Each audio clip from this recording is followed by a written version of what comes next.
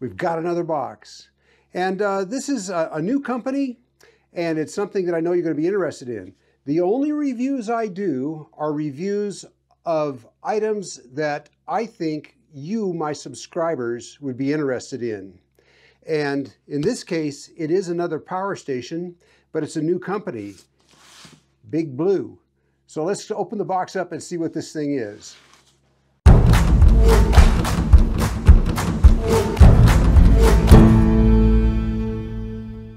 You know, um, any review I do is usually done in addition to our normal Friday programming. And like I mentioned, I only do things that I think you guys would be interested in. And who are you guys? You guys are people who are interested in self-sufficiency, um, being prepared for emergencies. You're interested in camping. You're interested in road trips. You're interested in camping in remote, remote places. And that's why I do the reviews I do. I'm usually thinking about things that you guys would want to see. Portable power station. And the thing about this one is, it is not lithium ion, it's lithium iron phosphate or LiFePO4. That's something that you're going to see a lot more of in these more affordable power stations now and in the future. Used to be that only the big expensive ones had it. And uh, this is probably cables. And there it is.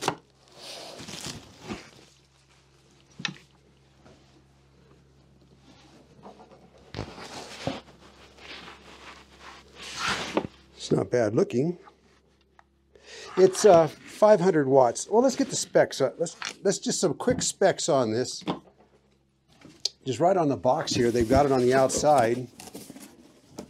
It's um, actually it's 537.6 watt hours, so it's better than 500. It's 537 LiFePO 4 battery, and it comes with a adapter for charging. You know, we'll see what it's got that way. There's a USB or USB-C to USB-C. That would be for charging like computers.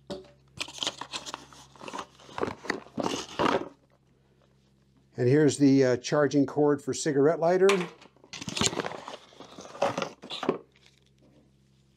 This would go from this to your car battery. Look at that. These don't usually come with these.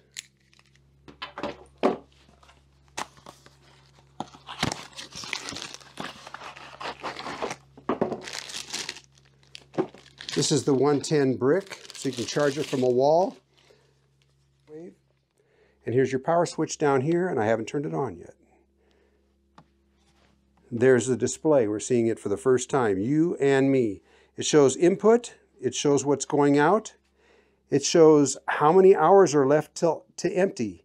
And it's showing right now that it's at 63%, and it's got the uh, graph on it also. It looks good. Now it says it's fast charging. It's got protection against overcharging, over discharging, which means you can't charge it all. You can't uh, empty the battery all the way out. You can't deplete the battery. Uh, you can't put in too much current. It's got uh, protection from that. And it's protected from short circuits. And it's protected from overheating. Stop.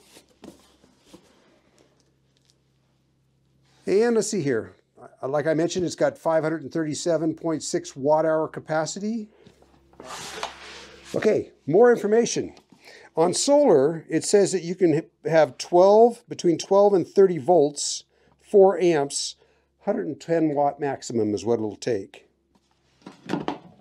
Oh, it has a light on the back. Let's see how good the light is. Oh, the light is good. I like this style. It's a nice bright flood. So it tended it will light up your camper. That's good. Or light up your campsite. And it's got a lower setting. Oh, good. You know what? Doesn't have that SOS feature.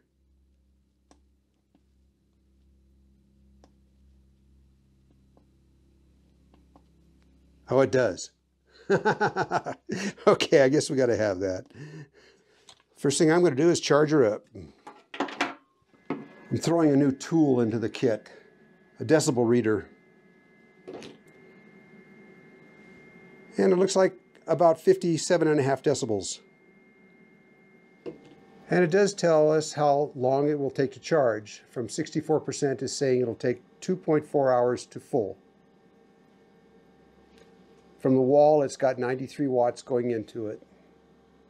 And it's made by Cellpowa. This is a Cellpowa 500. It has an MPPT uh, controller in it for when you're hooking it up to solar. So it's got all the good stuff. We'll just see how well it does. Well, as for what it has, let's take a closer look. It's got a 12 volt accessory socket here, which is good for um, 10 amps and 120 watts. It's got two 5.5 millimeter um, bayonet plugs down here, and these are 60 watts apiece for 120 watt total, and these are 5 amp. It's got two quick charge down here, USBs, USB-A's, and these are 5 volt, um, 3 amp, and these are also um, 36 watts. These are 18 watts a piece for 36 watts. Two USB-C PDs, and these are uh, 60 watts a piece in and out. So you can charge off of these or you can charge into this. And uh, for a total of 60 watts a piece for a total of 120 watts. Over here you've got two 120 volt, 500 watt AC outlets, and uh, these are pure sine wave. Okay, here we're going to do a drawdown test. Now this is rated at 536.03 watt hours and we're going to see how many of those watt hours actually go towards running the inverter and um, running the cooling fan and how many watt hours we can get out of it. Showing 121.9 volts. We'll go ahead and start it up here. Got a 278 watt load on it. We'll just have to check back here.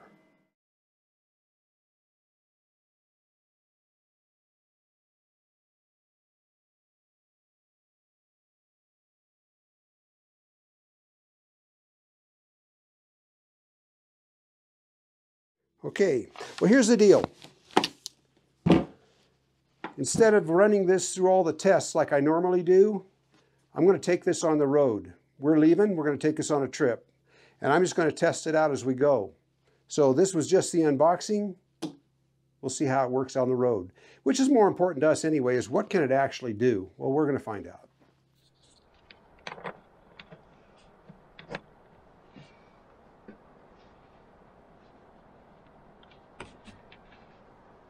Linda's got some rice going, and tonight we're having fresh ahi rice and some kind of vegetable. Well, we've been on the road with Big Blue here for about three weeks now, out here in the Nevada desert, and we've come to determine that we really like him. Him, Big Blue. yeah, he's doing everything they say he does. Um, and I've learned a little bit more about him. And he's been running our refrigerator, charging my laptop, running our rice cooker, uh, charging my uh, camera batteries, our cell phones. Uh, been doing all that flawlessly. So let me go over uh, some other things. I'll, sh I'll show you what he's doing. Right now I got him plugged in charging the laptop. I get uh, 60 watts uh, each of these PD 60 watt USB-C uh, input outputs. Now these are two-way, like I mentioned earlier. So the thing here is that you can get 60 out of both of them. So I could have two laptops on here, each getting 60 watts, or two other, you know, appliances of your choice. But the thing is, there's three ways to charge Big Blue. You can charge him with the AC wall adapter, and uh, I was getting about 95 watts at home. He'll take uh, up to 110 watts of solar and they do make a 120 watt solar panel, which puts out uh, 95 to 105 watts, according to their information. They make a, it's also a waterproof solar panel, which is interesting. I'd like to get my hands on one of those so I can check it out. But listen to this. So you can charge him, and he'll take up to 110 watts of solar. 95 watts from a wall outlet, 110 watts from solar, or you can get a splitter, an adapter, to feed both of these USB-Cs at one time and put 120 watts in through USB-C. So that's the fastest way to charge Big Blue. And you can charge, doing it that way from, um, from flat to full charge in three hours. And once again, this is a, a LifePo battery, uh, 2000 plus cycles, and it's, uh, you know, safer from overheating, things like that, and they last longer, twice as long. Now, Big Blue is currently hooked up to our refrigerator here. It's a um, 55 quart 12 volt compressor refrigerator.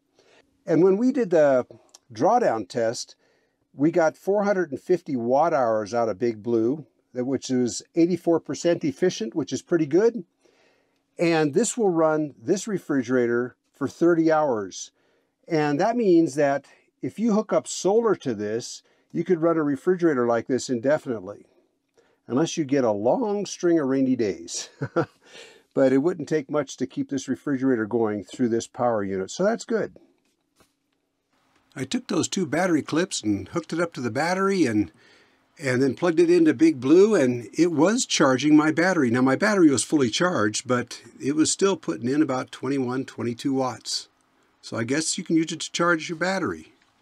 Now it's not a jump starter, I can tell you that but it was charging my battery. One thing I do find a little strange here is that you can only plug in one grounded uh, 110 plug at a time. So you can have a regular 110 plug, like if you're charging an electric shaver or something like that, and then one grounded plug. See there? Now this is a 500 watt pure sine wave with a 1000 watt peak. That part works fine.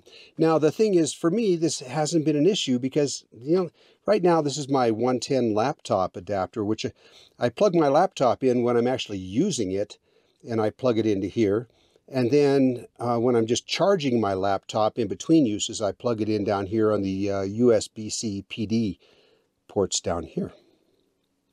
But that was the only thing that I thought uh, was a little strange on it. Now, as for pass-through charging, uh, right now I've got 63 watts coming in from the solar panel. I got 55 going out. So it's a yes for DC, it's a no for AC. So if you can't, if you try to uh, do pass-through charging on the AC, it won't do it. The reason for that is you've got a very expensive battery inside here. And if you get it hot, you can damage it. So by drawing too much and having too much coming in, you'll overheat the battery. So that's how this is protected. Yes for DC. By the way, these uh, DC outlets here are regulated. So that's another good thing. An MPPT controller, pure sine wave over here, and it's got a battery management system in it too that helps protect the battery, but it's still a no, no go on pass-through charging if you're talking about using AC with it. Okay, I'm charging off a solar here. I've got my laptop plugged in. If I push and hold the AC switch over here, it will not turn on. Now watch. If I unplug the solar, now when I push this, if you look in the lower right hand corner of the screen, the AC comes on. So it senses that you've got 110 plugged into it and it will not let you turn on the AC as long as the solar is plugged in. And a lot of these are that way, and it's to protect that LifePo battery. The warranty on this is 18 months, but if you get in on the introductory, they're going to, uh, through Indiegogo, they're going to extend that to 24 months. Don't forget this will also run a CPAP. Uh, CPAP. Uh, 40 watt CPAP, you can run it between 10 and 20 hours, depending on, you know, how constant it runs and if you use a, your vaporizer or not with it. You get, of course, you get more out of a CPAP if you turn that uh, humidifier off on it. Anyways, these aren't available until September. And right now, and it'll be through crowdfunding through Indiegogo, I think. I'll leave details below this video on exactly how to purchase these. Here's the price.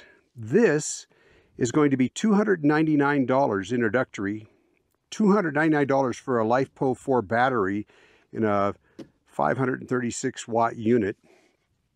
And the solar panel, 120 watt waterproof solar panel is going to be 189 bucks. That is, if you, you shop around, you'll find out that's a really good price. So for $488, you get this and the solar panel. You're set to go. So check below and check out uh, how to purchase this. I got to get some details on that myself. I'll make sure I list it exactly in the details below in the video description. Check that out. All right, if you like the video, like, share, subscribe. See you around.